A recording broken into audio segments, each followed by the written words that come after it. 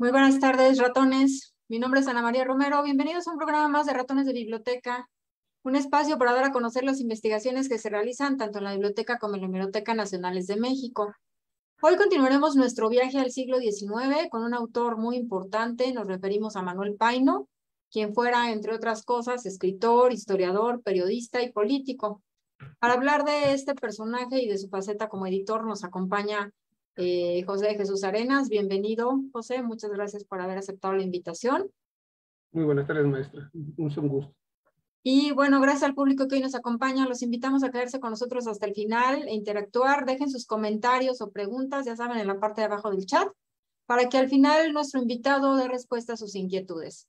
Sin más, pues vamos a comentar, pero a comenzar, pero antes me gustaría comentarles que José Jesús Arenas Ruiz es licenciado y maestro en letras mexicanas por la Facultad de Filosofía y Letras de la Universidad Nacional Autónoma de México. Desde 2021 es miembro del Seminario de Historia de Texas que se desarrolla en el CP San Antonio, en el estado de Texas, Estados Unidos de Norteamérica. Cursa el doctorado en Teoría Literaria en la Universidad Autónoma Metropolitana, Unidad Iztapalapa ha participado en diversos coloquios nacionales e internacionales y es especialista en la obra de Manuel Paine. Actualmente se encuentra coordinando junto con los doctores Vicente Quirarte y Daniel Chávez los volúmenes Viajeros mexicanos en los Estados Unidos y Viajeros americanos en México, Miradas Cruzadas. Eh, adelante, maestro Arenas, bienvenido. Gracias. Muy, buena muy buenas tardes a todos. Es un gusto estar aquí en Ratones de Biblioteca. Eh, me permito compartir pantalla. Eh, como lo comentó la maestra Ana María Romero, mi texto de mi charla es Manuel, eh, Manuel Paino, editor. Eh, inicio con algunos datos biográficos sobre este Perdón, maestro, no se ve, no se ve la pantalla. A ver, perdón. Aquí está. A ver, aquí está ya. ¿Así? Listo, ya. Eh, perdón por esta cuestión técnica. Eh, bueno, mi charla es Manuel Paino, editor. Eh, inicio con unos datos biográficos acerca de Manuel Paino. Manuel Paino nació el 28 de febrero de 1820 y no como se creía que había nacido un 10 de junio de 1810. Este fue bautizado en, el 29 de febrero de 1820 en el salario de la Ciudad de México y fue uno de los mexicanos, en, eh, de los primeros mexicanos en asistir a la primera exposición universal celebrada en Londres en 1851, del cual tiene como resultado un libro de memorias e impresiones de un viaje a Inglaterra y Escocia que publicó en el año de 1853. Estos datos me parece pertinente indicarlos porque son recientes. Por ejemplo, la fecha de nacimiento que la corrige este Robert Duclas, eh, y esto hace 10, 10 años más joven a nuestro autor, ¿no? más contemporáneo a Guillermo Prieto y a Ignacio Cumplido, con quienes eh, está involucrado en diversos proyectos eh, editoriales y periodísticos. Eh, Manuel Paino tiene como, como maestro al, editor tapatío Ignacio Cumplido, que como veremos fue una gran influencia en estas, dos obras, en estas tres obras que vamos a ver a continuación. hay que indicar que eh, durante el siglo XIX, manuales de viajeros y guía de forasteros conviven con calendarios, eh, con calendarios eh, y otras publicaciones afines que tienen que ver con el relato de viajes. Y durante los primeros 24 años del siglo XIX, el editor Mariano de Zúñiga y Ontiveros tuvo el monopolio de calendarios y guías de viajeros y cada año sin falta aparecía su calendario y guía de forasteros. Dos años más tarde emergió el nombre de Mariano Rivera Galván como editor del calendario manual para el año de 1826, que posteriormente apareció como guía de forasteros de México para el año de 1828, dedicado al general de división y primer presidente de los Estados Unidos, ciudadano Guadalupe Victoria. De acuerdo con María José Esparza, el término, el término más utilizado en América es el de calendario, aunque algunos países como Argentina utilizan el término almanaque. Eh, aquí lo utilizamos como sinónimos. Eh, quienes, eh, hay que tener en cuenta que quienes incursionan en, estos, en este tipo de publicaciones sabían que debían hacer un producto atractivo para que este fuera comprado y captar así un mayor número de lectores. Así, así que tienen que integrar imágenes, tienen que integrar información reciente e interesante para que su producto sea consumido.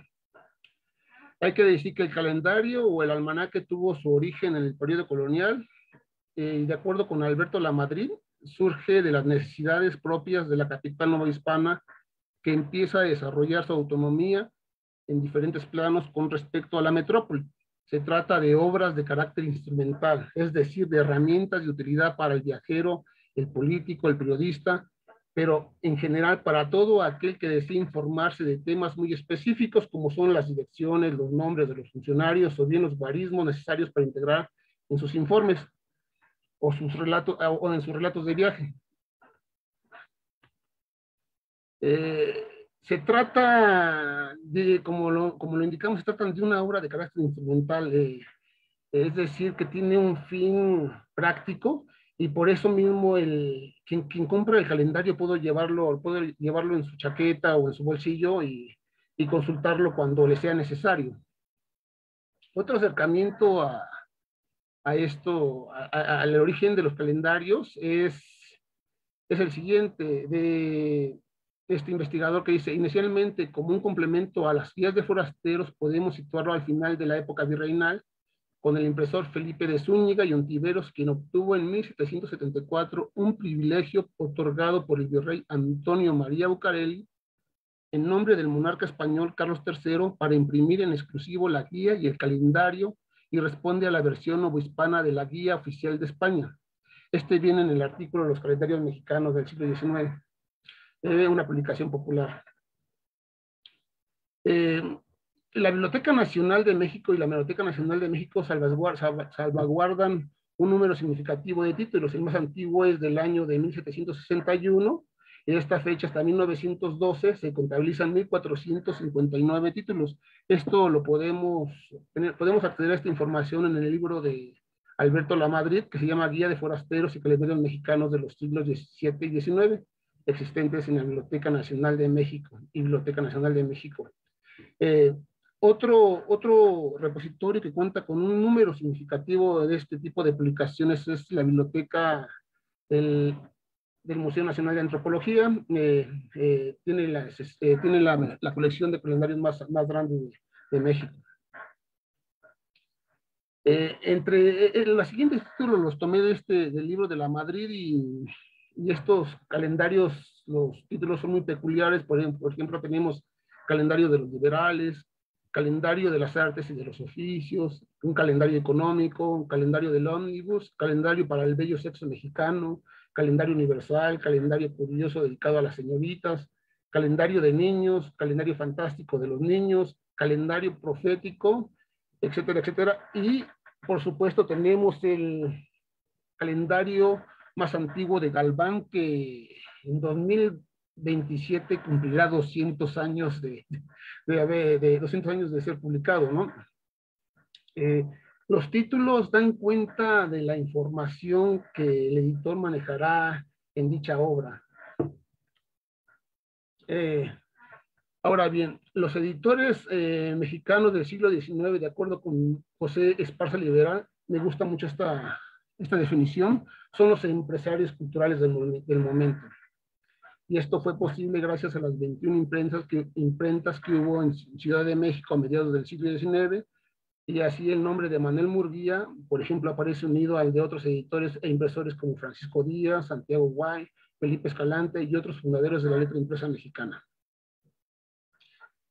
Eh, eh, no hay que dejar de indicar que el, número, en cuanto al número de almanaques o títulos que tienen el título de, de almanaque, eh, son pocos. Yo solamente encontré uno que se llama Almanaque Popular Religioso, histórico, profético, agrícola y recreativo.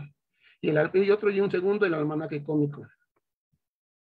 Estos calendarios, como le he comentado, circulaban en la Ciudad de México y, daban cuenta de las fiestas religiosas, civiles, así como algunas notas de la historia de, la, de, la, historia del país, de los inmuebles públicos, religiosos, eh, privados, e incluso daban información de algunos eh, establecimientos como de abogados, eh, donde estaban a, a, estos profesionales de las leyes, ¿no? Eh, a estos a estos nombres que he mencionado de editores también debemos sumar, como yo lo indiqué, el de Mariano Rivera Galván, el de Ignacio Cumplido, que es el que nos importa y el que está muy relacionado, que está relacionado de manera directa con el autor, eh, está Santiago Pérez, Juan del Valle, eh, solo por mencionar algunos. Eh, el crear este tipo, el sacar a la luz este tipo de productos, de productos, como lo he dicho, tiene que ver con un carácter mercantil.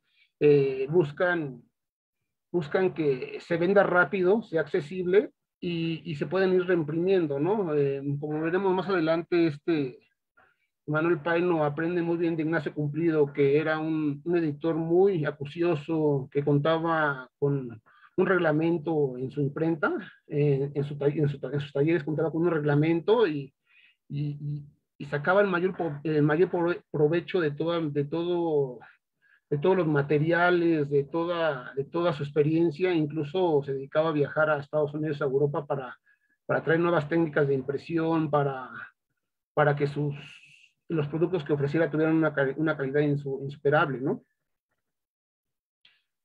Eh, ahora bien, eh, eh, hay que me gustaría empezar eh, diciendo que las portadas de los dos calendarios eh, que se publican en el año de 1860 por este Manuel Paino, el primero tiene el título de Calendario Azteca para el año bisiesto de 1860 y el segundo es el Calendario del Comercio y Pequeña Guía de Forasteros para el año de ambos del año bisiesto de 1860.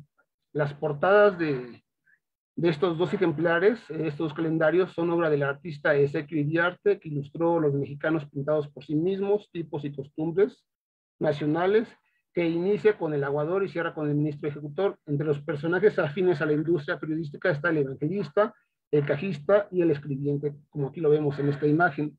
la obra consta de 33 personajes populares, si no mal recuerdo. El litografista nació el mismo año que el editor responsable, es decir, en 1820. Eh, las primeras tareas las realizó a la edad de 27 años en el taller de uno de los impresores más importantes de su siglo, me refiero a Manuel Murguía, quien también incursionó en la publicación de calendarios. Como hemos visto, como he mencionado, casi todos los editores en este momento ven en, este tipo de, publicaciones una inversión segura. Eh, tan es así que eh, el número eh, en cuanto al tiraje, el tiraje es muy alto en cuanto a este tipo de publicaciones, no, no, es, no son tirajes de, muy de bajos, no son muy altos, y es muy importante.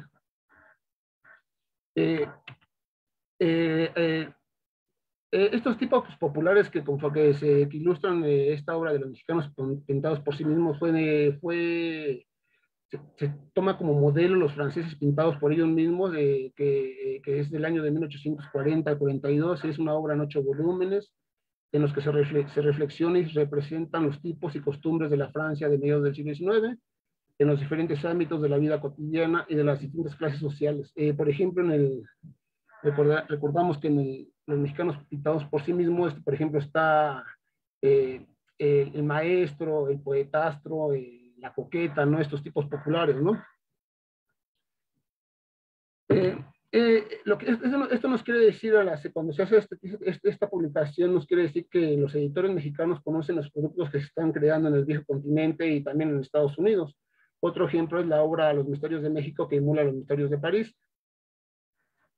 Eh, otro de los datos de este artista es que Yarte, encontramos que Yarte colaboró en los periódicos del Renacimiento, el arista, ilustró el libro rojo en el que participa Manuel Paino, ¿no? Con, eh, que este, el Paino ahí también es, eh, eh, surge el nombre de Paino, ¿no? Esto cuando el arte era dueño de su propia empresa. No hay que olvidar su participación en el Parnaso mexicano. El artista murió en la Ciudad de México en 1897, tres años después de la muerte de Manuel Paino. Ahora sí, iniciamos con el primer calendario eh, de Manuel Paino. Este calendario, inicio con este calendario porque fue el último hallazgo que fue un hallazgo para mí porque lo estuve buscando durante cuatro años y lo fui a localizar gracias a un bibliotecario en la biblioteca del Museo Nacional de Antropología. Eh, el, el señor el bibliotecario me dice, este, creo que yo he visto este calendario, no está clasificado, eh, fue a buscarlo en instantes, se tardaría media hora, 40 minutos, y, llegó con este calendario que se me hizo, eh, hizo súper eh, hermoso y muy, muy importante, porque aquí en, este, en esta obra, Manuel Paino, al presentar la pequeña guía de forasteros, que cuenta esta, este calendario, en, este, en, este, en esta obra da, cuenta de que tiene conciencia del género de relato de viajes, ¿no? Y que estas publicaciones, eh, el calendario, las guías, y están relacionadas también con, con, las, con, las, guías y los manuales del viajero, ¿no? El calendario azteca para el año de 1860 fue impreso en México en la imprenta de Ignacio Cumplido. Ambos calendarios, como veremos más adelante, eh, tienen el mismo número de páginas.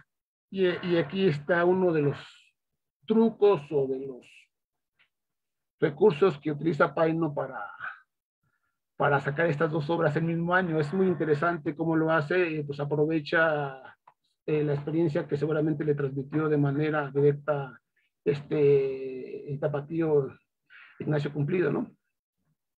Eh, con respecto a esta conciencia del género de relato de viaje, me permito citar, a este, al autor, dice, pequeña guía de forasteros. El, editor expone que cuando conseguimos la idea de la formación de una guía de forasteros, nos propusimos hacer una publicación completa de este género, pero luego pulsamos grandes dificultades para ello, no siendo la menor lo avanzado del tiempo que no nos permitiría ya recoger todas las noticias que eran indispensables para la obra. Hace una segunda, una segunda precisión eh, con respecto a este problema que enfrentó para no poder realizar una, guía de forasteros más completa, eh, dice lo siguiente, en tal virtud nos resolvimos abandonar nuestra primera idea en cuanto a la extensión de la guía, invitándonos simplemente a recoger las noticias necesarias para la publicación de la pequeña guía de forasteros que ofrecemos al público, la cual, aunque diminuta, la juzgamos de gran interés para toda clase de personas. Eh, es importante decir que, que es posible hacer este, este, esta guía, porque Paino ya cuenta con cierta experiencia como viajero, desde su viaje, su, su viaje que hace a, su viaje sentimental que hace a San Ángel, eh, posteriormente viaja en 1839 a la frontera norte, de la que resultan 13 eh, crónicas eh, que se llaman eh, La frontera norte del Río Bravo, su viaje a los Estados Unidos para estudiar el sistema penitenciario y su viaje a Inglaterra cuando asiste a la primera exposición universal. Todas estas experiencias y todos estos textos le permiten elaborar con atino esta, esta pequeña guía de viajeros.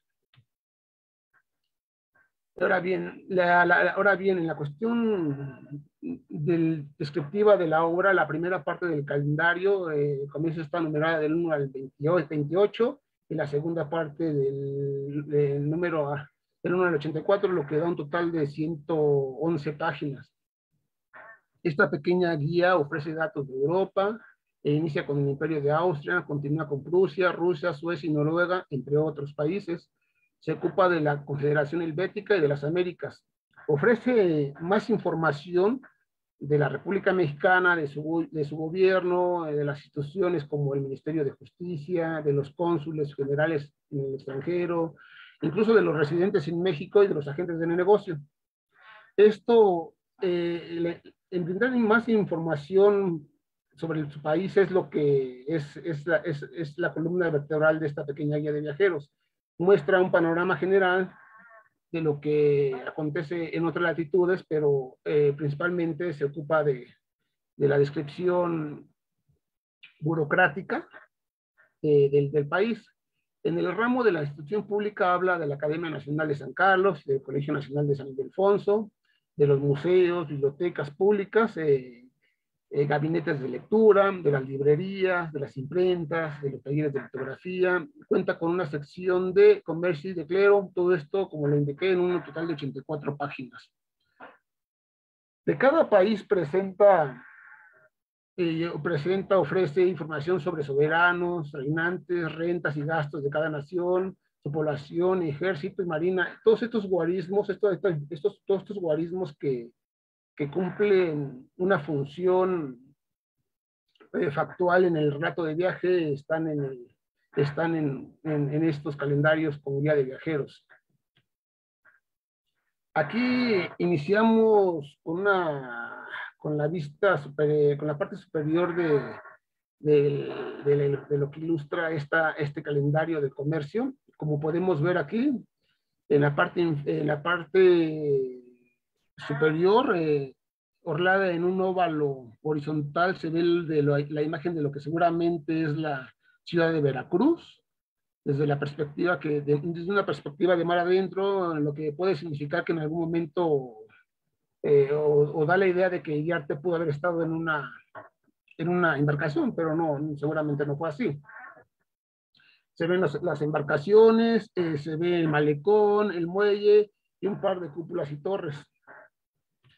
Eh, en, la, en, la, en, la, siguiente parte, en la parte central, en la parte inferior, se aprecia otro óvalo, esta vez en vertical, con el nombre del impreso calendario del comercio para el año de 1860 y el responsable publicas, publicas, publicado por Manuel Paine. Lo flanquean dos figuras mitológicas paradas sobre una base de concreto con acabados neoclásicos. En el lado derecho, Mercurio perfectamente eh, identificable por sus pies y cascos alados y su báculo también con alas. Aquí se ve, como se ve. Eh, la figura del lado izquierdo es una mujer a la que no se le aprecia algún detalle que la haga distinguir como otra deidad. No, está cortada un poquito la imagen. El, el ejemplar en cuestión está encuadernado. Eh, una ventaja fue que se respetaron las tapas y no como antes que se desprendían y se encuadernaba y, y se perdía este, esta información que es de suma importancia para los estudiosos de, de la bibliografía mexicana en este caso. Eh, eh, a ver, eh, no, no, no distinguimos lo que sostiene, no sé, tal vez sea un cuerno, ¿no? es cuestión y puede ser la clave para, y está esto, esto, esto puede ser la clave para identificarla, sin embargo, por su vestimenta parece ser un personaje común del pueblo mexicano. A ver, en el recuerdo que está en la base, se aprecia la plaza, la plaza, la, la plaza, la plaza mayor, el Zócalo, está Palacio Nacional, está la Catedral Metropolitana, el, el, Sagrario, se ve una fuente. Yo lo había visto así en un momento y después me he quedado con la idea, en un principio con esta idea, pero después platicando con unos amigos, esta fue mi primera lectura, platicando con unos amigos, nos damos cuenta a mi juicio que llegamos a la conclusión de que sería la Plaza de Santo Domingo, porque aquí se ve al fondo del recinto, del edificio religioso, se ve la casa, el palacio de, de la Inquisición la Escuela de Medicina, ¿no? Con su fachada ochavada. Eh, de, ahí, de ahí llegamos a esta conclusión que sería la Plaza de Santo Domingo. ¿Por qué eligió esta? Eh, tal vez porque ahí están los evangelistas, ahí se imprimen cartas, no sé, no sé la razón, pero complementa muy bien la, la portada de este calendario. Esta es la portadilla, con respecto a la portadilla, eh, ostenta, a diferencia de la portada, el siguiente título, que es el calendario del comercio y guía de forasteros para el año bisiesto de 1860. Como lo he indicado, ya cuando inicia a hablar de la, de la guía de forasteros, dice pequeña guía de forasteros, no guía de forasteros, como como lo, indicamos, no fue posible que este Paino realizara una, una guía, entre comillas, completa de, de, forasteros. También podemos leer ahí que fue publicado por Ignacio Paino, el lugar de la edición, y la empresa de Ignacio Cumplido, y la mítica calle de Rebeldes, número 2. Eh, eh, la primera parte, la, primera parte del calendario del comercio, como había indicado, está numerada en números romanos del 1 al, al, 38 y la segunda, del, la segunda parte son 84 páginas. En la primera parte del calendario tiene las siguientes secciones, fiestas móviles, cómputo eclesiástico, témporas y eclipse y algunas notas de interés histórico. Eh, también, por supuesto, se indica las fiestas, eh, se señalan las fiestas religiosas, eh, los días en que está obligado a ir a, escuchar música, eh, las fiestas nacionales,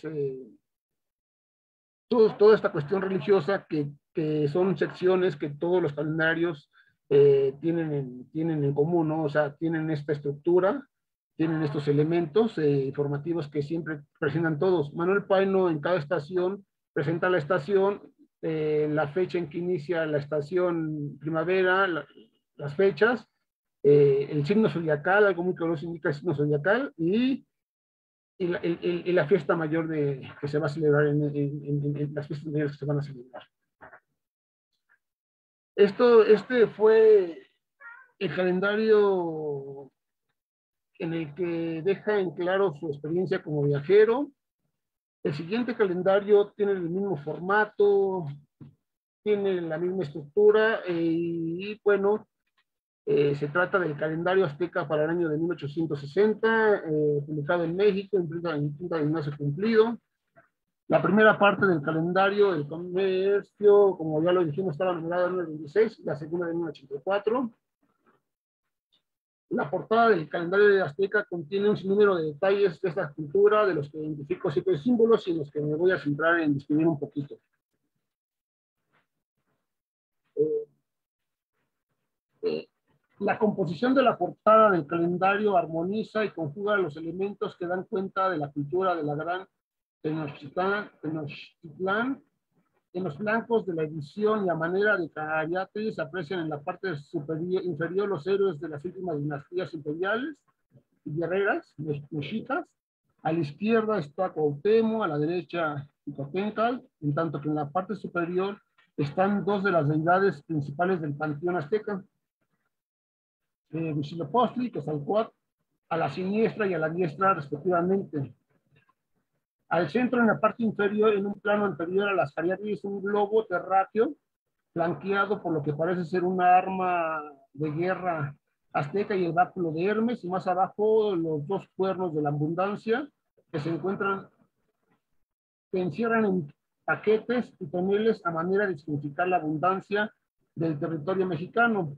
Todo ello es obtenido por una cenefa ondulada que lleva la leyenda publicado por Manuel Paine.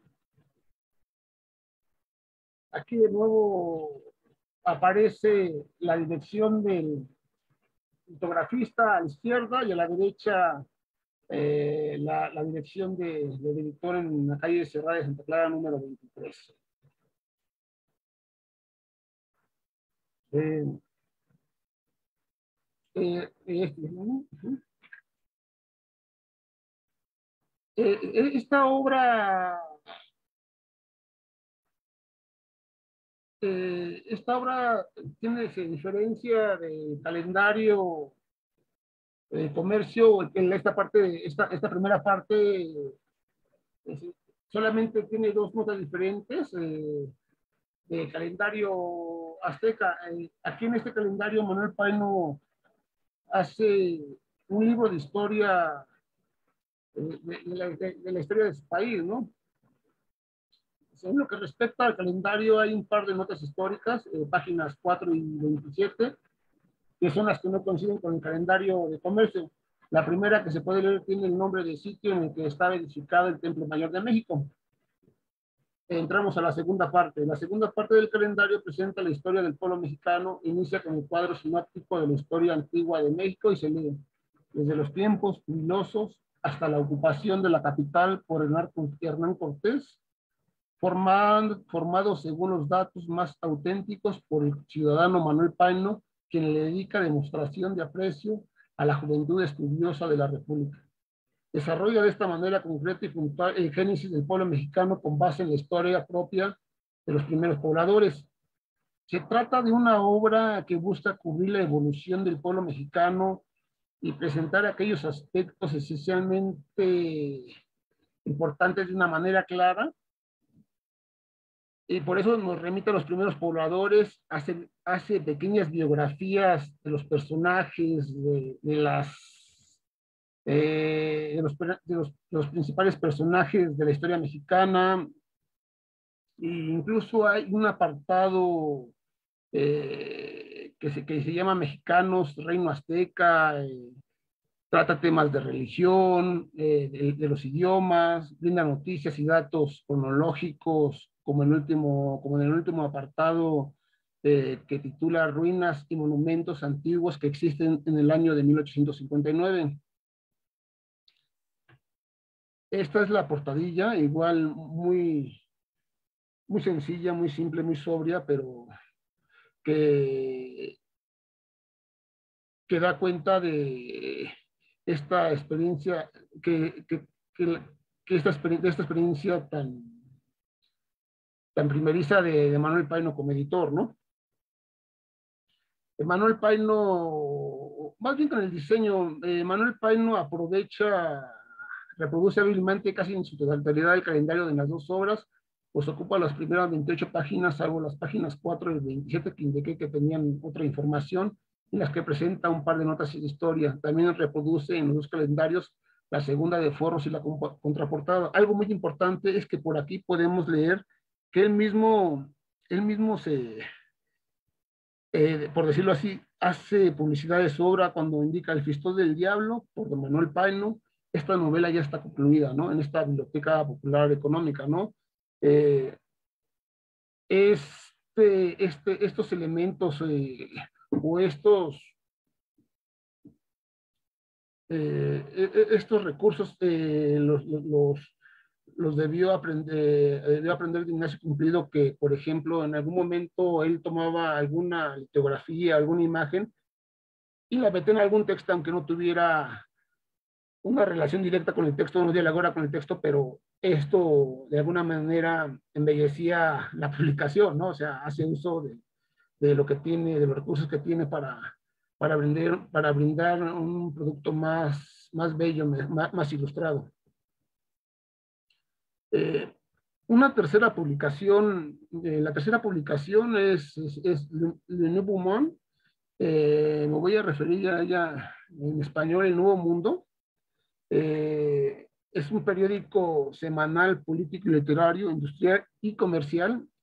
Este, este, este, esta publicación, este semanario, eh, eh, comenzó a circular el 2 de mayo de 1885 en la ciudad de París, tenía un costo de 5 céntimos, eh, por seis meses tenía un costo de 30 francos y por un año de 60 francos, creo que sí que de 60 francos. Eh, podemos observar que se trata de un diseño muy sobrio, un, el cabezal de semanario ostenta una tipografía muy sobria y bajo este resalta el nombre de su director, eh, son tres caídas, eh, casi no hay, no hay, ¿cómo se llama? No hay, no, no cuenta con tantas ilustraciones, eh, son muy pocas, cuenta con anuncios, eso sí, sí es importante que cuenta con anuncios, no están muy bien elaborados, no son muy, muy complejos, pero esto, le, esto también ayuda a sobrevivir a, a esta publicación. ahora bien, esta publicación eh, en México no fue muy bien recibida, eh, no fue muy bien recibida porque contaba con el apoyo de Porfirio Díaz.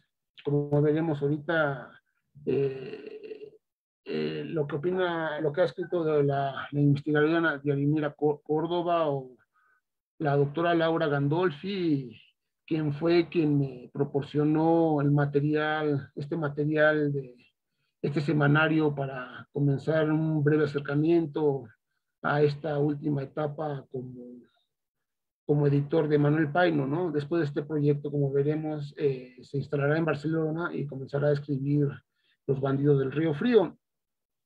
Eh, Paino eh, solamente tiene cinco colaboraciones en esta, en esta, en esta publicación.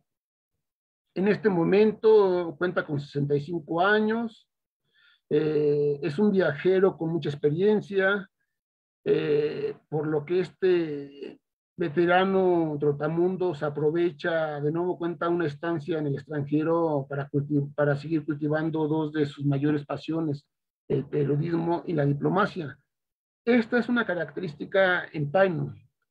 Si a Paino lo mandan en algún momento a alguna misión diplomática o a ocupar algún cargo, él se dedica a escribir como es como, bueno, como Guillermo Prieto como todos se dedica a escribir o a completar proyectos, ¿no? Esta aprovecha, aprovecha estas circunstancias para, para crear y para, y para cultivar para cultivar el rato de viaje, ¿no? Y sus memorias, eh, como lo veremos, como lo hemos visto. Eh, hay que decir que Manuel Paino arriba al país galo en el año de 1882. Fue enviado a desempeñar el puesto de agente de colonización durante el gobierno de Manuel González Flores. Eh, eh, él está ahí, lleva tres años, seguramente se está fraguando la idea de este, de este, de este proyecto y como lo indica eh, la doctora Dianelina Córdoba, eh, fue seguramente por Ignacio Cumplido quien orientaría a redactar el semanario eh, El Nuevo Mundo, que gozó de recursos gubernamentales, pues difundía una imagen favorable de la administración porfirista.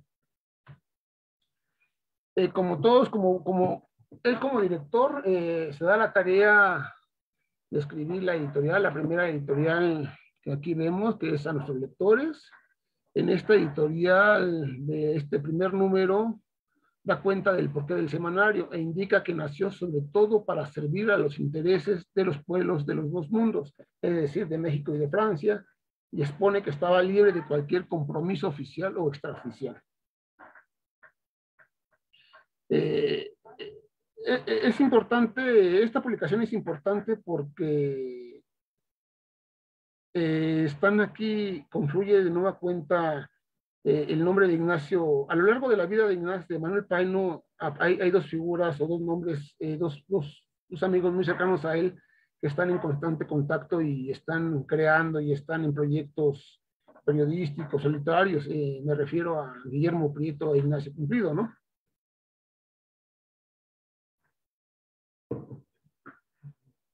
Eh, ellos son, yo creo que de las personas más importantes eh, eh, es uno de los personajes más importantes en cuanto a la, literatura nacional. Hay que indicar que este semanario se escribió casi en su totalidad en francés y en consecuencia la información que se presenta tiene que ver más con, en un porcentaje significativo es más sobre, sobre Francia, ¿no? sobre todo sobre Francia.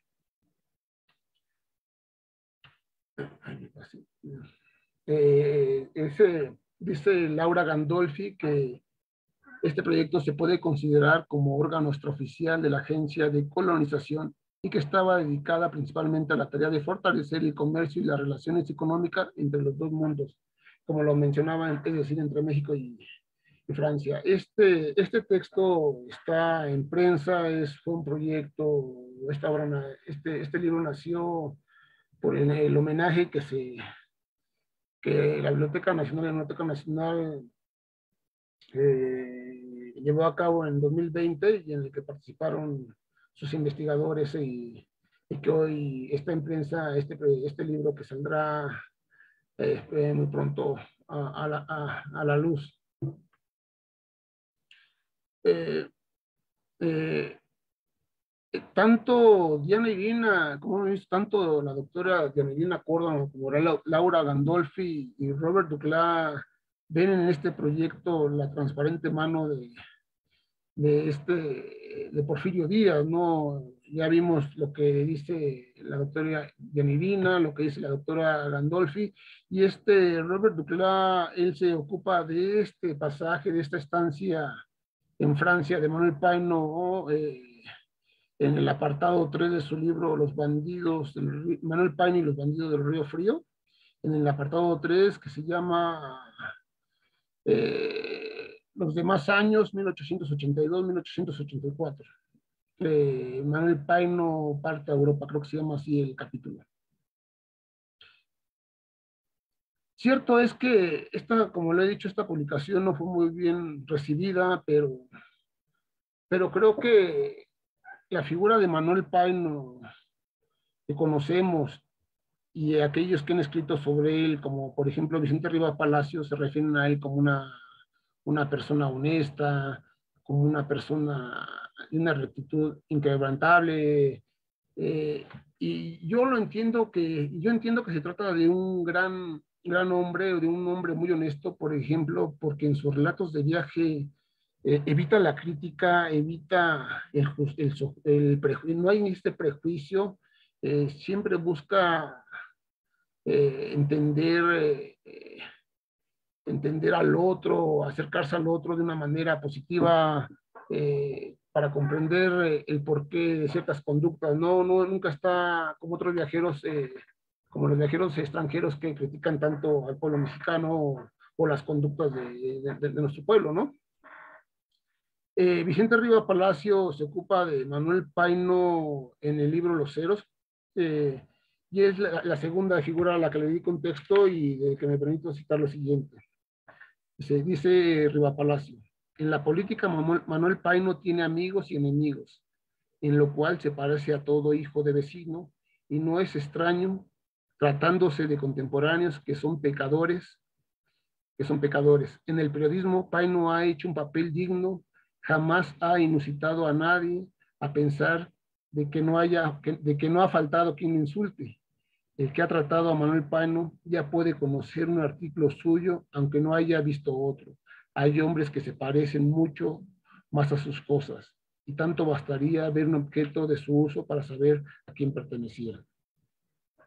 Eh, todos hablan de Manuel Pano de una forma positiva. Creo que bueno, tiene un problema, eh, enfrenta de alguna forma con su publicación eh, un par de ataques, sobre todo de la publicación que es La Voz de México, que es, que es de Ireneo Páez y que nace en 1870 y, desde su editorial indica que es una publicación de combate y que no, y que no va a dejar por utilizar una frase hecha, no va a dejar títere con cabeza y cuando dos meses y días reciben eh, acá en México la publicación del Nuevo Mundo, eh, se, se, publica un artículo el 11 de, el 11 de julio, si no me recuerdo, de, 1800, de 1885.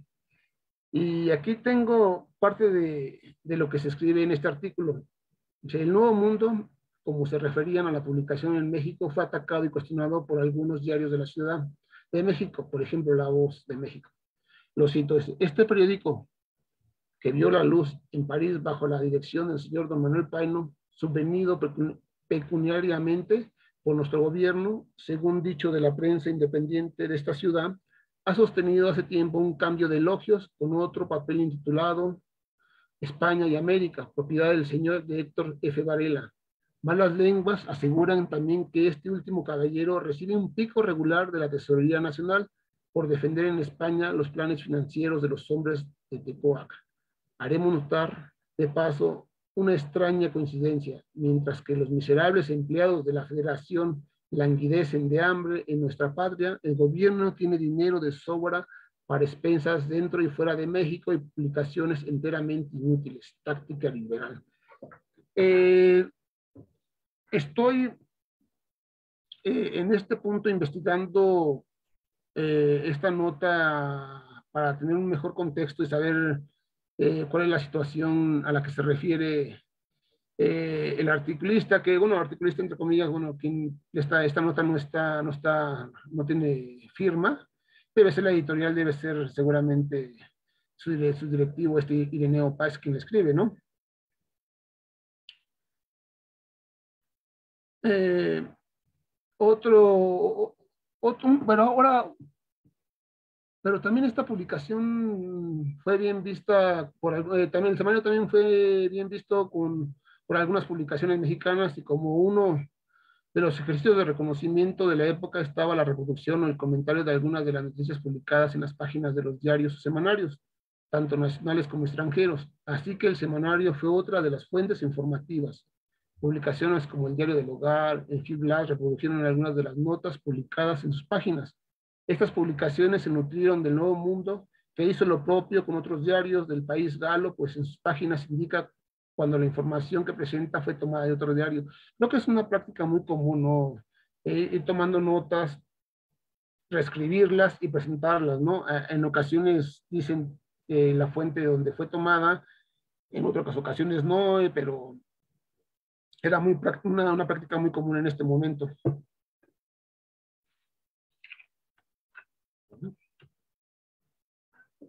Ahora bien, en, cuanto a la estructura y, el diario, eh, el semanario contaba con las secciones fijas como Ecos de México, Ecos de América, Correo de América, La Semana Parisina, Crítica Musical, Variedades, eh, Deportes, Crónica Musical, eh, además de las secciones Los Libros, Boletín Bibliográfico, que, que de acuerdo con Laura Gandolfi acortó su nombre a, a Bibliográfico, algo importante y peculiar de esta publicación es que si había alguna nota, alguna información acerca de algún país, eh, se ponía el nombre, el nombre del país y se, se informaba Argentina y se hablaba, se daba la, noticia de lo que eh, de lo que sucedía en este momento, fuera económica, social o política. Eh, Alemania, sí, o Costa Rica, y están ahí.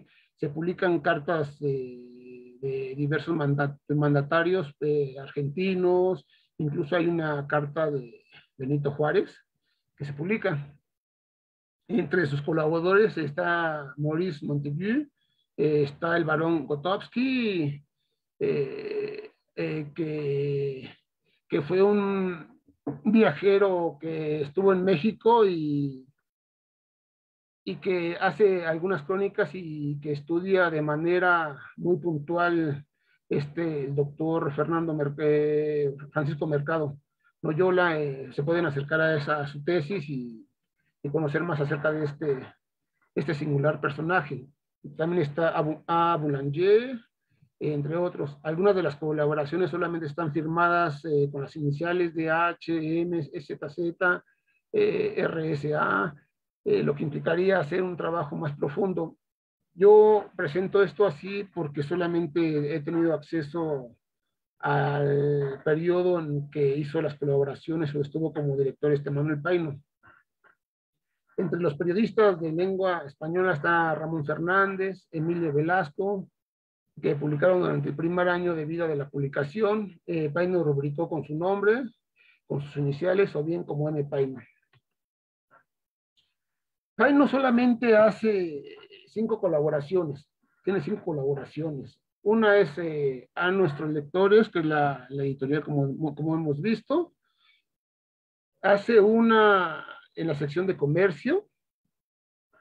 Y esta tercera es este texto que escribió Manuel Pagno para la aplicación y que está fechada, como lo indica Laura Gandolfi, el 11 de julio de 1885 bajo el título Una aclaración en el cual el director vuelve a subrayar las líneas y los objetivos principales de la publicación, reiterando que el propósito principal del Nuevo Mundo era contribuir al fortalecimiento de los vínculos comerciales con Europa.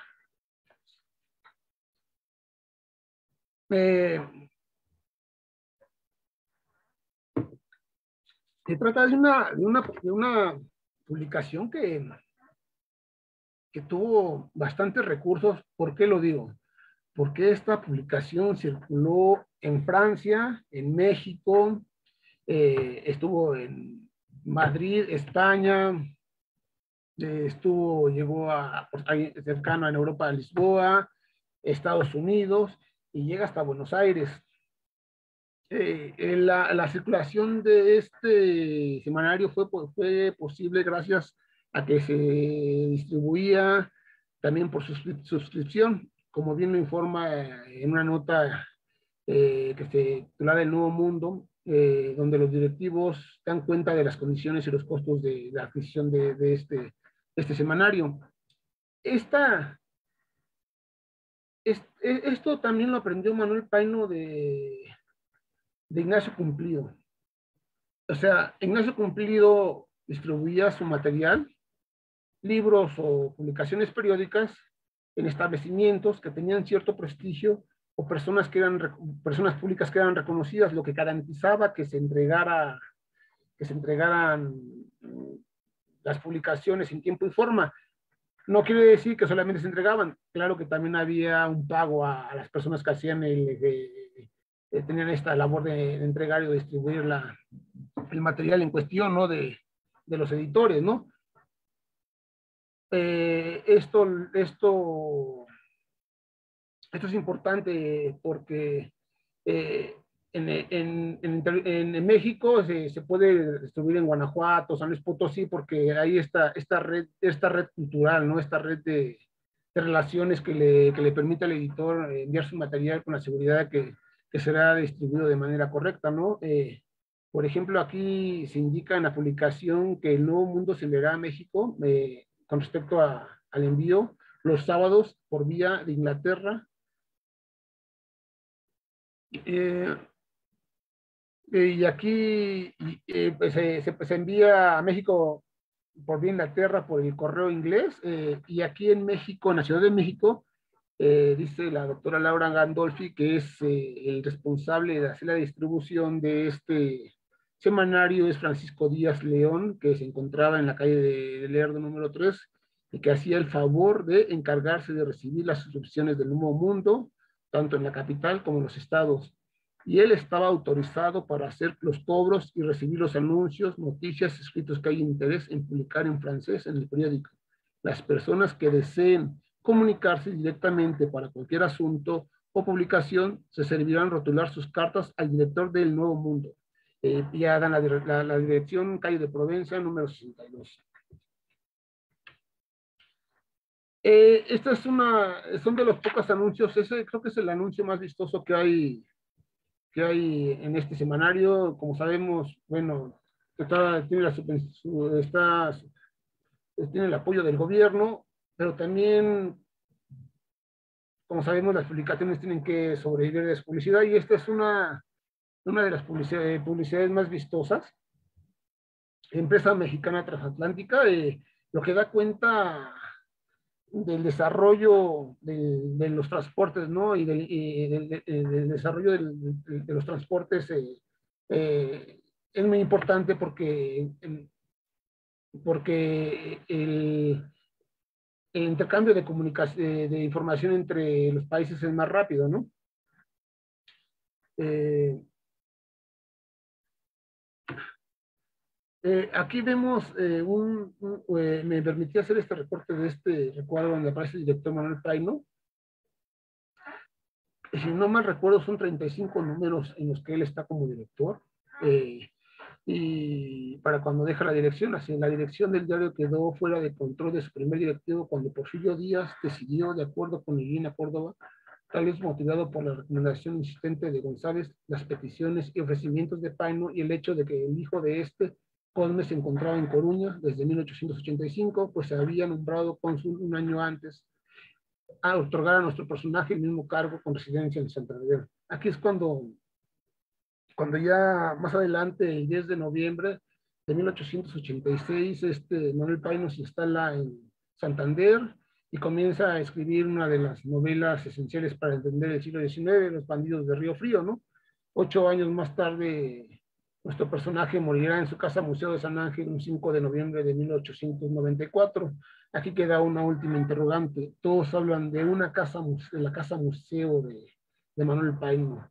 Y se menciona mucho esto y sería interesante eh, llegar a, encontrar alguna descripción de esta, de, este, de esta casa museo para conocer un poco más de este personaje que fue periodista, fue periodista, político, eh, viajero, eh, poeta, incluso editor, y como hemos visto también un editor eh, con solamente tres obras que son importantes en el desarrollo del relato de viajes en México.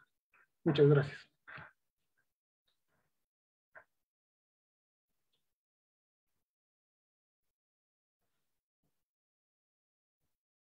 No se escucha, maestra. Una disculpa. Sí, parte de esta información es, es, es, parte de una investigación mayor que estoy haciendo. Muchas gracias. Eh, eh, nuevamente agradecemos al maestro José Arenas el haber impartido la, la charla, Manuel Paino, editor. Gracias al público que se está conectando, que nos está siguiendo. Los invitamos a que formulen sus preguntas, reflexiones. Ya tenemos muchas felicitaciones. Ahorita las, las vamos a leer. Y efectivamente, como, como señala, señala el maestro Arenas, pues es una investigación de largo alcance.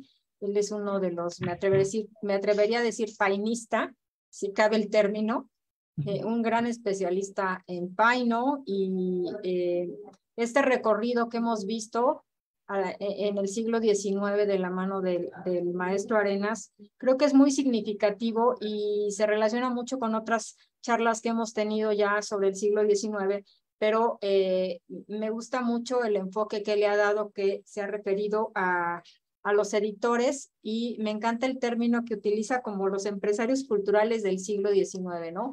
Así de importantes eran los, los editores en el siglo XIX, porque creo que eh, a pesar de que era una nación joven que acaba de, de, nacer como nación México independiente, pues tuvo un gran desarrollo en la, en la cuestión de la imprenta y sobre todo de la imprenta, ¿no?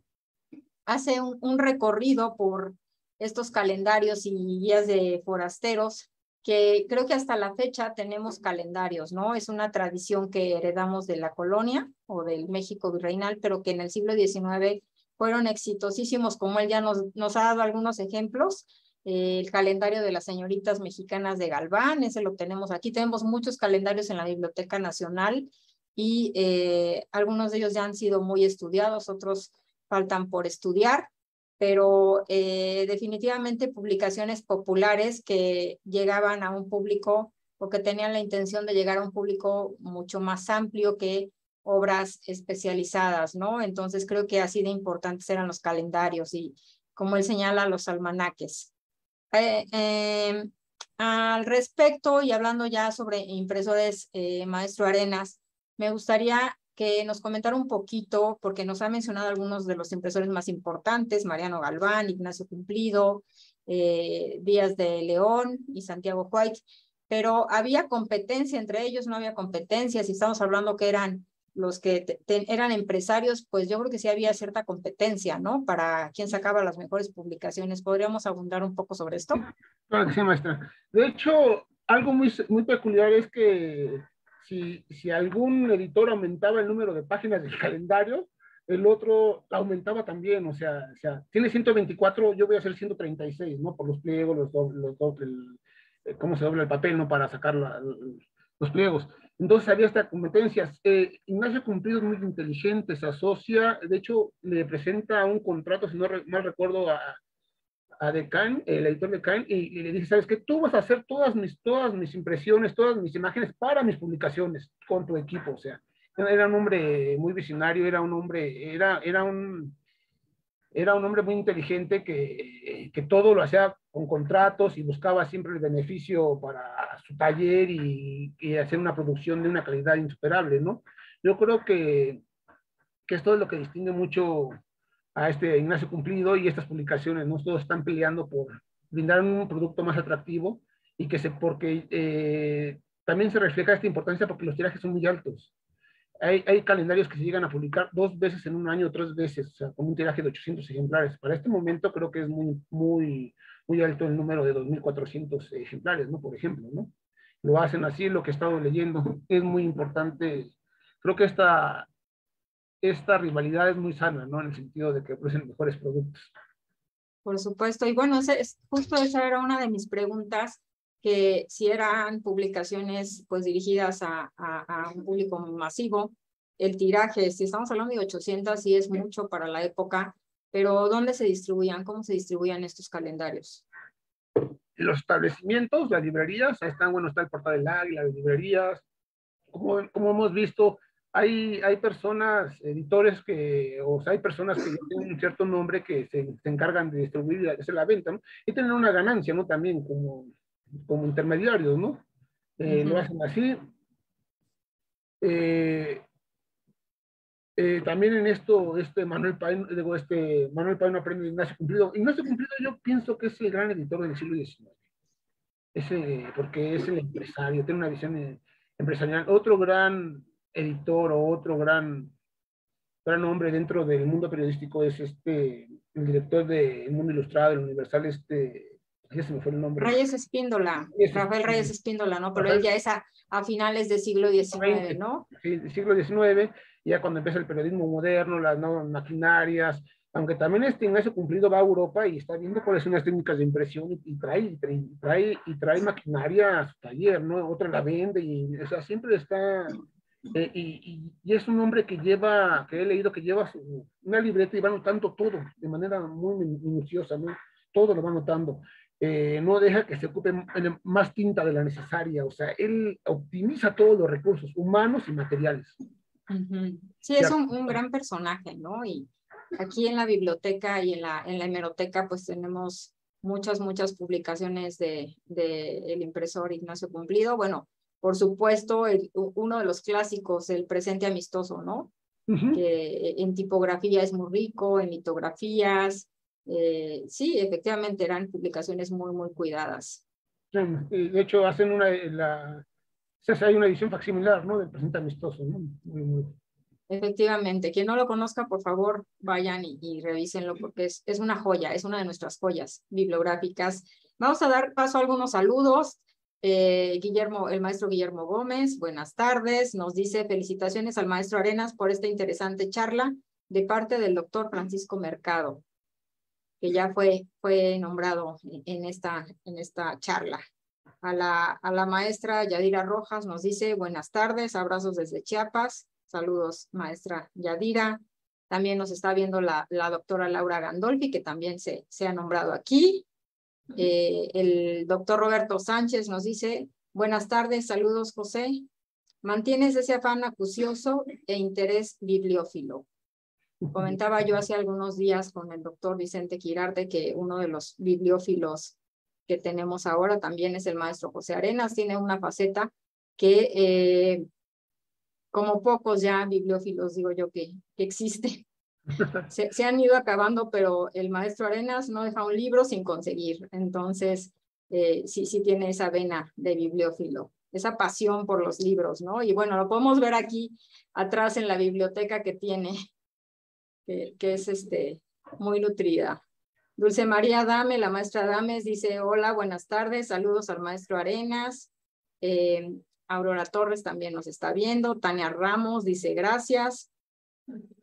Y eh, el maestro Miguel Ángel Castro nos dice, estupendo repaso del maestro Arenas, muy erudito, lo agradezco. Eh, vamos a, a, continuar y después seguimos con preguntas o con, o con saludos. Me gustaría, me gustaría comentar ya, hablando propiamente de los calendarios de, de Paino, eh, el calendario del comercio, ¿por qué se llamaba así? ¿Por qué tenía este nombre, el calendario del comercio? Eh, se ocupa, eh, como lo indica el nombre, el nombre del calendario indica de qué va, cuál es la línea, lo que va a seguir, ¿no? O sea, este, este se enfoca a, a, los establecimientos y da, una, da, un, da un repaso, direcciones, propietarios, para que está dirigido al viajero, al, al, al, al, extranjero, para que cuando llegue a la Ciudad de México tenga las armas, las herramientas suficientes para poderse dirigir a, a los lugares, ¿no? Muchos vienen a, a, a, hacer negocios y ya tienen una guía, ¿no? A tal dirección puede haber a tal abogado y lo hace así, ¿no? Entonces, es, este, eh, a diferencia de un manual, de, un manual del viajero, ¿no? El manual del viajero es para saberse mover también, ¿no? Pero creo que hay una diferencia entre viajero y forastero, ¿no? El forastero es el extranjero, el que no, que viene a, negociar o viene con otros objetivos, el viajero es el que, el que viene a, a conocer, a conocer el país, ¿no? Yo lo entiendo así. Y lo hace así este... Cuando el padre, el, este, este calendario, como le comentaba maestra, fue una suerte, eh, una, fue una suerte encontrarlo en la biblioteca del Museo Nacional de Antropología. Estaba ahí buscando otras cosas y hice charla con el bibliotecario y, resultó, perdón, eh, hasta me disculpo con él, no, no recuerdo su nombre, lo tengo anotado en la investigación eh, me dice, yo conozco el, yo lo he visto, y, y, se perdió 40 minutos, dije, no, no me trajo nada, ¿no? Pero no, no desistí, me quedé esperarlo para agradecerle, y yo con él, o sea, yo tengo poco con él, lo fotografié, lo he estado leyendo, caí en cuenta lo que les comentaba, que muy hábilmente este país no ocupa el calendario, las 34 las reproduce y nomás hace dos cambios en, esta, tienen la misma paginación, o sea, hace dos productos con la base de una base en común, ¿no? O sea, ya se ahorra formación, se ahorra todo esto, ¿no? Reproduce la, cuarta de forros, ah, se anuncia él mismo su obra, es muy inteligente, ¿no? Es, ya tiene un sentido comercial muy, muy claro como lo tenía este Ignacio Cumplido. por supuesto. Y bueno, a mí, a mí lo que me llama la atención tanto de, del calendario el calendario del comercio y el calendario azteca, que ese ya tiene, tiene el subtítulo de para forasteros, es como en el año de 1860, estamos hablando de, eh, los publica, pero estamos hablando de la reforma, está en plena reforma, ¿no? Cuando uno pensaría que están liberales contra conservadores, pero también hay publicaciones. ¿Podríamos abundar un poquito sobre esto? Eh, pues, eh, pues, este Manuel Paino, todas las obras que lo hace, todos, todos esos eh, literatos del siglo XIX pues, están entre levantamientos, guerras, invasiones, están trabajando, ¿no? O sea, creo que en algún momento Ignacio Cumplido deja de, deja de publicar el siglo XIX, ¿no? Porque cuando empieza la invasión norteamericana deja de publicar, o sea, sí afectan todos estos levantamientos, todos, todos estos levantamientos armados afectan, afectan la industria editorial, ¿no? La industria periodística, pero siempre se dan a la tarea de sacar, sacar algo, ¿no? Están ahí, ¿no? Esta, este binomio, ¿no? Del, del, del, político y el literato, ¿no? Que es muy peculiar en el siglo XIX de, de todos nuestros próceres, ¿no? Político y escritor, intelectual, poetas, todos están ahí, ¿no? Y siempre están luchando por dar a conocer cosas nuevas, ¿no? Y creo que tener un medio es, es, poder, es poder responderle a la, otra parte, ¿no? En algún momento, ¿no? O sea, son medios, son canales, ¿no? Son laboratorios, como dice Beatriz Aros, ¿no? Laboratorios donde uno está, está generando ideas, ¿no? Y, tenemos que tener, por decirlo así, un arma, ¿no? Para enfrentarnos al otro y las publicaciones de alguna forma son un arma, ¿no? La pluma es un arma, ¿no? Al final. Claro, y es que, eh, pues sí, efectivamente, tanto los liberales como los conservadores tenían proyectos de nación como muy claros, que incluían no solamente las armas eh, eh, militares, ¿no? Sino también la parte intelectual, proyectos de nación como muy concretos, y uno de estos era pues instruir a la población, ¿no? Creo que las, las publicaciones periódicas tenían como, como ese objetivo, ¿no? De, de querer instruir a la población, de dirigirlas. En el caso de Manuel Paino, sí me llama mucho la atención que, escriba para forasteros, ¿no? Como que pone el ojo en, una población que no es la común, pero que sabe que existe. Entonces, esto es muy, muy interesante. Y esa definición que hace, sí, sí, adelante, maestro. Eh, eh, al ofrecer este calendario como de viajeros está, como decía, está un público eh, a los ciudadanos comunes y al extranjero. Hay que recordar que el relato de viajes es una respuesta al relato de viaje extranjero, ¿no? A esta crítica que hacen, que hacen de, nuestra, de nuestra nación, ¿no?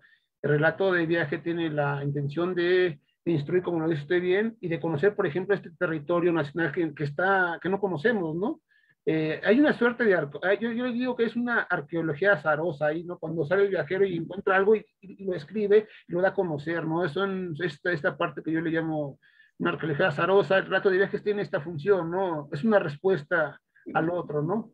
Y en el caso, como lo he, lo he, dicho, en el caso de Manuel Paino, en sus relatos de viajes, es un hombre muy objetivo, es, es un hombre muy, muy centrado, no, no ataca, o sea, critica, pero da, hace una propuesta a, a lo que está viendo él como, como algo negativo, ¿no?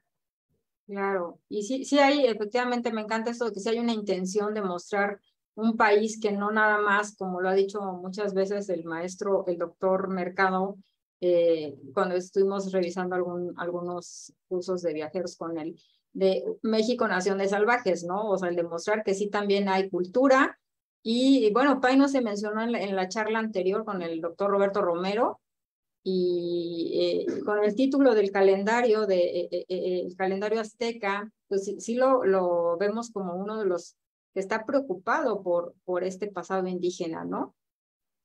Sí, lo hace. Él, él, es historiador, ¿no? Da clases en preparatoria, historiador y aquí ejerce su vena de historiador, ¿no? Casi lo hacen todos sus textos siempre, esta, esta, esta, esta, esta vena que él tiene como historiador la, deja plasmada en todos sus, en todos sus, en todos sus relatos, de viaje, en sus crónicas, como que está, está eh, elementos, está, instruyendo, está dando información nueva, ¿no? Interpretación, eh, está interpretando la historia y la, está dando a conocer, ¿no? En este, en este eh, calendario azteca lo hace de manera muy peculiar, zapotecas, va por, va por va por zonas, lo, lo, va haciendo, ¿no? O sea, va describiendo qué son, qué vale la importancia. Este es muy importante, ¿no? Eh, y muy aceptado, ¿no? El, como el título, ¿no? Como les comentaba, ¿no? El título es lo que dice de qué, cuál es la línea y el calendario. Hay, hay calendarios cómicos, de hecho. El calendario de, eh, del negrito, ¿no? Creo que es un calendario del negrito, ¿no? Entonces es, es cómico, hay son unos cómicos, hay incluso de datos curiosos, ¿no? Hay, o sea, hay, hay, de todo, ¿no? O sea, ellos, el, editor encuentra en, esto, en, este, en este tipo de productos eh, una nueva beta, ¿no? Que explotar, ¿no? Y si yo soy especialista, puede haber un calendario de derecho, ¿no? Si yo soy especialista en derecho o en alguna área, pues puedo enfocarme ahí y ver, verter todo mi conocimiento, ¿no? En este calendario, ¿no? Por supuesto. Y eh, ya hablando propiamente de esta publicación de Le Nouveau Monde, que se me hace una joya también el haberla encontrado y cómo va pasando de un lugar a otro, pero que se publica en Francia. Eh, ¿Dónde se encuentra actualmente esta publicación? En la Biblioteca Nacional de Francia, de hecho, como les comentaba, esta, esta, eh, tuve acceso a este año, este periodo que es de mayo del 85 a julio del 86 más o menos, verano del 86, eh, en el que está como director este Manuel Paino, eh, se lo debo, lo, se lo agradezco de, no, de nueva cuenta a la doctora Laura Gandolfi que me prestó este, este, este material, ¿no? Ella fue quien me, me acercó a, a, él, ¿no? Eh, yo hice un primer acercamiento muy general eh, para esta investigación que, es que, estoy, que está en progreso. Era, era el epílogo nada más, ¿no? Pero se fue desarrollando y lo, y lo, quise, lo quise complementar con estos dos calendarios para hablar de esta faceta de Manuel Páez como editor. Cierto, y hablando ya justo de la distribución que se hizo en su momento, pues es muy interesante cómo llega a diversos países, ¿no? Entre ellos eh, las críticas que, que, tiene, por ejemplo, La Voz de México, eh, es muy, muy significativo como, como eh, La Voz de México, pues un diario católico, obviamente está atacando a, a, a Manuel Paino, ¿no? Como un liberal. Quizá podríamos abundar un poco sobre su ideología, ¿no? Que siempre estuvo, permeó todas, todas sus publicaciones. Pues, eh, como decía, esta, esta publicación es de Ireneo Paz, de Paz. Eh, creo que lo que ellos ven mal, lo que yo vi en esta nota, son un par de notas, es que este, este, están, están, está haciendo su, este, el gobierno está pagando la publicación, ¿no?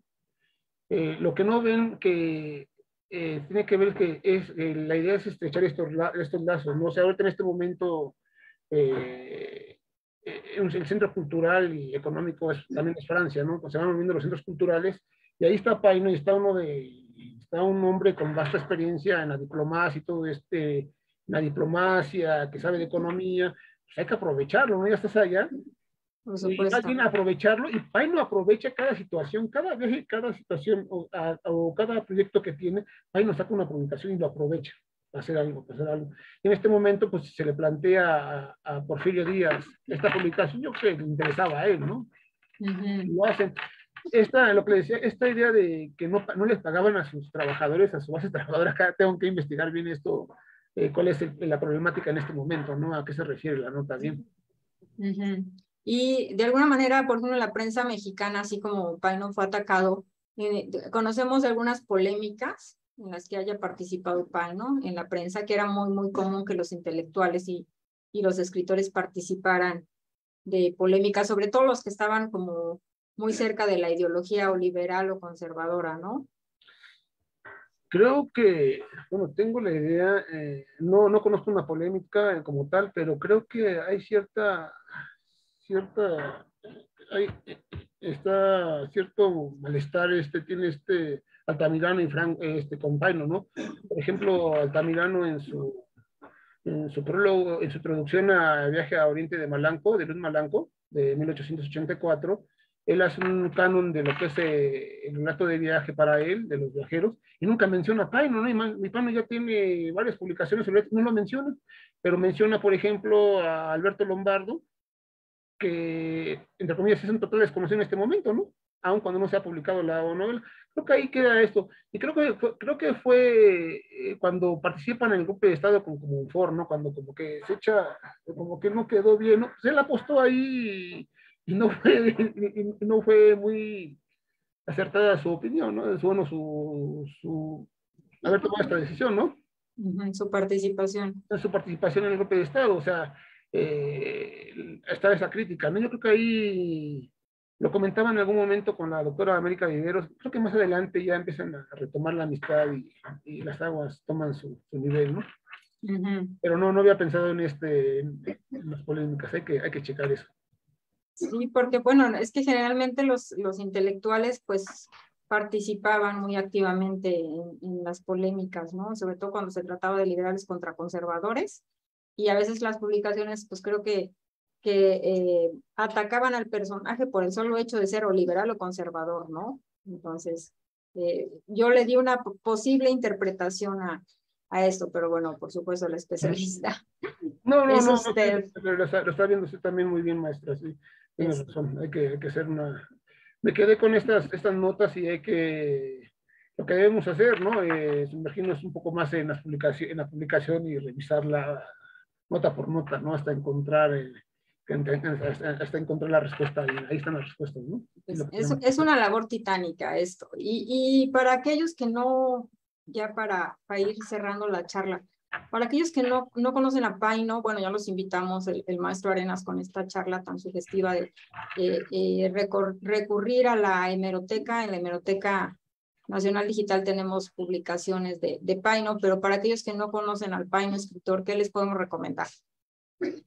Eh, si no quieren eh, enfrentarse, bueno, yo que enfrentarse a, no es enfrentarse, a, o sea, enfrentarse a un, volumen mayor, no, yo creo que tardes nubladas, novelas cortas, eh, los relatos de viaje que son muy interesantes, empezar con esto y bueno, y terminar, por supuesto que hay que leer muy bien El Stone del Diablo y Los Bandidos de Río O sea, no hay O sea, tenemos que leerlo, leerlo porque como se ha mencionado, al igual hay, hay muchos elementos en esas dos novelas, desde cuestiones de lenguaje, tradiciones, eh, la gastronomía. De hecho, hay un libro sobre Manuel Paino, Los sabores patrios, en la obra de Manuel Paino, que sacaron hace, hace una investigadora. O sea, la riqueza de esas novelas es súper, súper eh, importante ¿no? Eh, para entender el siglo XIX. Y está al lado de otro de los grandes eh, para entender el siglo XIX, que es Guillermo Prieto, ¿no? Eh, con sus memorias de mis tiempos, y con quien tiene una relación epistolar cuando hace su viaje a Veracruz en el año, en el invierno de 1843, ¿no? Eh, que Manuel Paino le envía las 22 cartas a su querido Fidel, ¿no? Que le da cuenta de este, este, este, este periplo que hace al estado de Veracruz. Creo que por donde tomemos a Paino, siempre va a ser disfrutable. Muchas gracias. Agradecemos al, maestro José Arenas por haber impartido esta charla. No sé si, si quiere agregar algo más. ¿Dónde podemos leerlo? Algunos de sus artículos. ¿Dónde, dónde podemos encontrarlo? Eh, hola, eh, maestra. Eh, ahorita, eh, bueno, como usted lo, como lo mencionó en la semblanza, estamos haciendo dos libros para la Universidad San Antonio sobre viajeros. Salió un libro de vanguardias en el que yo, que junto con el doctor Daniel hicimos la preliminar, hice ahí un capítulo sobre los contemporáneos en el suplemento La Cultura en México. Eh, creo que eh, como los proyectos nos van llevando por distintas rumbos y vamos conociendo a distintos investigadores y personas que nos van nutriendo, ¿no? Eh, en este caso, el último proyecto en el que estamos trabajando son 22 personas que van a participar, en la que está usted y de la que aprendí Muchas gracias. Eh, aprendí esta, nueva, esta viajera que no conocía. Están algunos, eh, hay un, eh, un, un, colaborador de este libro de viajeros mexicanos, viajeros americanos en México, de nombre William Fisher, que va a dar a conocer la, la obra fotográfica de, de, su tatarabuelo. Son 60, creo 60 imágenes que conservan inéditas sobre nuestro México y sobre este viaje que hace en 1885 cuando se inaugura el ferrocarril nacional mexicano, eh, que une a los dos, a los dos países. ¿no? Eh, por lo regular estoy trabajando en biblioteca y es lo que me gusta y buscando, como lo dice usted bien, nuevas betas para, para, para encontrar esos datos que, nos, que tanto nos emocionan ¿no? cuando encontramos algún dato que no se conocía. ¿no?